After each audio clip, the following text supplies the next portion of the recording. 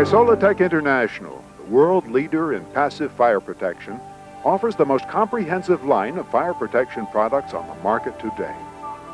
The Cafco Blaze Shield family of SFRMs has been in existence for 50 years and has become the world's best-selling dry mix fire protection product on the market today. This video is intended to instruct the applicators of Cafco Blaze Shield 2 on project and equipment setup, SFRM installation, and project shutdown and completion. Blaze Shield 2 is a pneumatically applied SFRM that must be stored in a dry environment, off-ground, under a weatherproof cover, and protected from damp surfaces or areas of high humidity. Blaze Shield 2 can be stored for up to six months from the date of manufacture under dry conditions. A permanent location for the pneumatic application machine must be secured on level, well-drained ground that is protected from the weather and easily accessible to truckload deliveries and the power source. Secure adequate power for the application equipment. Power requirements depend on the type of equipment used as well as the distance from the power source. Potable water must be used. A minimum water pressure of 65 psi must be maintained at the nozzle to properly apply the product. A water booster pump with a 55-gallon tank is necessary. Sufficient lighting for adequate control of texture and thickness must be provided. Adequate ventilation must be provided, particularly when spraying in enclosed areas, such as basements, stairwells, shafts, and small rooms. A minimum of four complete air exchanges per hour is required until the SFRM is fully cured. When the temperature at the job site is less than 40 degrees Fahrenheit, 4 degrees Celsius, a minimum substrate and ambient temperature of 40 degrees Fahrenheit shall be maintained prior to, during, and a minimum of 24 hours after application of CAFCO SFRMs. Protect skin from irritation by wearing loose clothing and protect eyes and respiratory tract from airborne product by wearing NIOSH certified dust masks or respirators, certified N95 or greater, and goggles, safety glasses, or eye shields. The application machine consists of a hopper, feed auger, carding system, airlock, and blower. The application of Blaze Shield 2 consists of conditioning the material through the application machine and pneumatically conveying it through the hose to the nozzle where atomized water is introduced.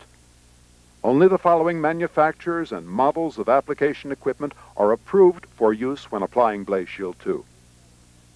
Unisol Inc., all polyspray pneumatic fireproofing machines. Contractors Consulting Service Inc., Boss Machines, with 2, 5, 7, and 10 power packs and the small fireproofing machines. Proper hose setup is critical when applying Blaze Shield 2. The transfer hose must be smooth interior rubber or plastic with a 2.5 or 3 inch inside diameter. The hose must be reinforced to resist kinking or cracking and must resist static buildup. Flexible hose length should not exceed 250 feet do not use PVC type hose as it can lead to a static charge buildup.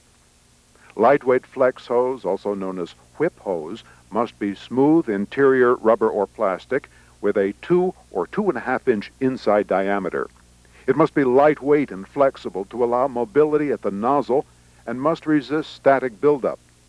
The maximum whip hose length is 25 feet. Standpipe is two and a half or three inch inside diameter aluminum pipe or conduit that is used to transfer material vertically or horizontally. Standpipe must be used when the transfer height exceeds three stories or 36 feet or when the total length of material hose were to exceed 250 feet. The use of transfer hose in lieu of standpipe causes the material breakdown resulting in high product densities and low yields and is not recommended. Pole guns are two or two and a half inch inside diameter, lightweight aluminum pipe or conduit that typically comes in three foot lengths. Several sections may be coupled together to produce a longer length depending upon the height of the substrate to be sprayed. The use of a pole gun typically eliminates the need for scaffolds as it allows the sprayer to move more freely, thus increasing productivity. The maximum pole gun length should not exceed 12 feet. An 18-inch section of flexible hose is attached to the top of the pole gun and the nozzle is then inserted into the flexible hose. A light rope of sufficient strength to bend the flexible hose is tied around the nozzle. The other end of the rope is tied to the pole gun. Pulling on the rope causes the nozzle to bend upward, allowing the sprayer to reach the top of the bottom beam flanges. Releasing the rope allows the nozzle to spring back to a straight direction, allowing application to decks and remaining parts of the beam. Only the following nozzles are approved for use when applying Blaze Shield 2. Hydrocone Incorporated, 2-inch RA6 airless, 2.5-inch RA9 airless, 2.5 inch ID air water low output or 2.5 ID air water high output. It is mandatory that a water booster pump with a 55 gallon tank be used to ensure proper water pressure and volume. A minimum water pressure of 65 psi must be maintained at the nozzle in order to properly apply the product. Proper adhesion of Blaze Shield 2 depends upon clean substrates.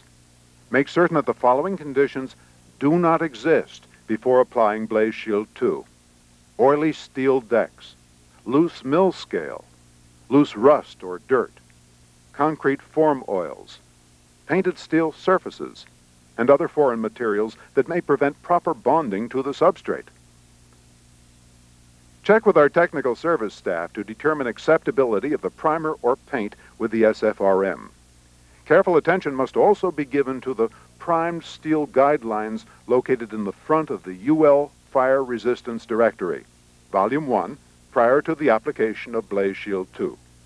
Do not apply Blaze Shield 2 to steel floor decks prior to the completion of concrete work on that deck.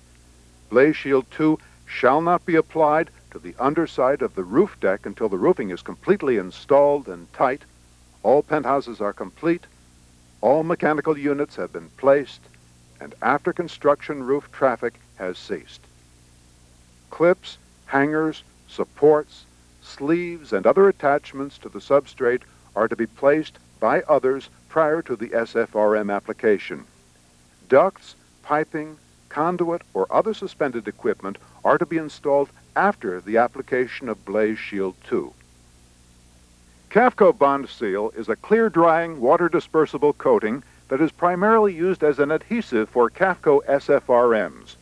Cafco Bond Seal, mixed as an adhesive, must be applied to all galvanized roof decks without concrete topping and galvanized cellular decks prior to the application of Blaze Shield 2. Determining the correct water-to-product ratio is critical to the proper performance of Blaze Shield 2. The water to product ratio is 1.2 to 1 water to product by weight. Establish the maximum water quantity by opening the water valve to the fully opened position and directing the spray into a 5-gallon pail for one minute. The pail used for this test is the CAFCO Bond Sealed pail. Using any other pail will give inaccurate results. Measure the height of the water in inches. Compare the height of the water in the bucket to the chart in Appendix A of the Application and Installation Manual and determine the maximum bag per hour rate. Next, determine the product feed rate by measuring the time it takes to spray one bag. Adjust the material feed rate to match the water level measured. It is mandatory that completed areas be given a water overspray to press up any loose product and to enable the binders in the product to migrate to the surface. This practice will result in an applied product with a tighter and harder surface. The water overspray shall be completed before the end of the workday. Prior to startup, check the machine hopper and carding box for foreign debris. Adjust the carding box or disc settings to the following recommendations. For Unisol 200 or 300 series machines, the carding box setting is 6. For Unisol 500 series machines, the carding box setting is 4. For Boss machines, the disk setting is 8. Turn the machine's main power on and check to see that the voltage meter indicates the proper voltage is being supplied to the machine. Do not use the application machine if the proper voltage cannot be supplied, as this will damage the motors and the machine itself. Empty one bag of Blaze Shield 2 into the machine hopper at a time. When the hopper is one-fourth full, empty the next bag into the hopper. Turn the water on at the nozzle. Activate the product feeder system on the machine and adjust the water-to-product ratio as previously explained. Proper application depends upon fundamental spraying techniques. The nozzle must be held perpendicular to the substrate and at a distance of 18 inches to 24 inches from the substrate when applying Blaze Shield 2. For fluted decking, Blaze Shield 2 is applied to the risers or vertical portions by first moving the nozzle along the length of the deck no more than 12 feet per pass. The product will also build up on a portion of the crest and valleys adjacent to the riser being sprayed. The nozzle should be held at an angle of 20 to 30 degrees from the vertical. Each successive riser is done in turn. Ideal situations allow the sprayer to be moving backwards in order to have a better view of the spraying operation and thus more effectively control the application of the sprayed product. The crests of the deck are then completed by holding the nozzle nearly vertical. Caution must be exercised when the sprayer nears the edge of the building. Make sure safety lines are in place around the building periphery. When applying Blaze Shield 2 to beams, the nozzle is held at an angle of 30 to 45 degrees from the vertical by utilizing the flexible hose. First apply material to the web flange junction and a portion of the top of the lower flange. Holding the nozzle in the same position, make a second pass to cover the remainder of the flange and the flange tip. The bottom of the upper flange is partially completed in the course of spraying the deck. To complete this area, the nozzle is held at an angle of 20 to 30 degrees from the vertical. Spray the deck flutes above the upper beam flange by holding the nozzle at a 20 to 30 degree angle so that material enters and fills this area. The beam web is done next by holding the nozzle perpendicular to the web. The material is applied in multiple passes until the entire web is completed. The bottom of the lower flange is sprayed last from directly beneath the beam. The nozzle is held at an angle of 20 to 30 degrees from the vertical. The application of Blaze Shield 2 to columns. The application must start from the top downward. The nozzle should be held perpendicular. The SFRM is directed to an inside flange web junction and inside flange. It is then applied to the flange tip from the inside of the column, thus wrapping around to the outside of the same flange. Repeat this procedure on the opposite inside flange web junction, inside flange and tip. Apply material to the web in an even up and down motion beginning at the bottom of the column. Move to the right and spray the outside flange. Overlap the product previously applied around the flange tip. Complete the flange. Wrap the product around the next flange tip and complete the entire column.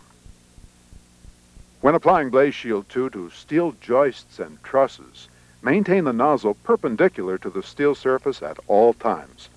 Apply the product to the top chord first.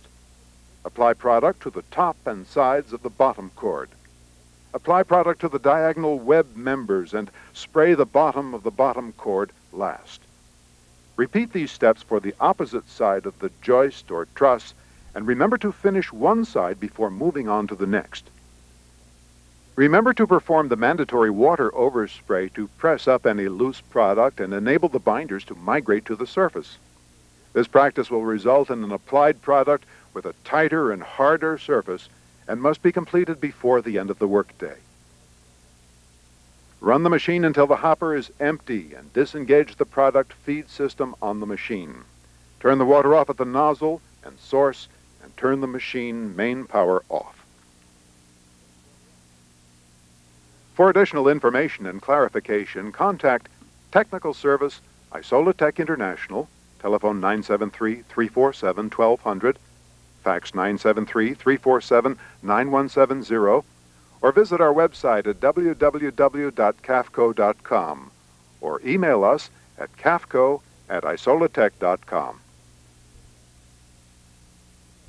This video is designed as a teaching aid only and is not intended to take the place of strict adherence and review of the CAFCO Blaze Shield 2 application and installation manual.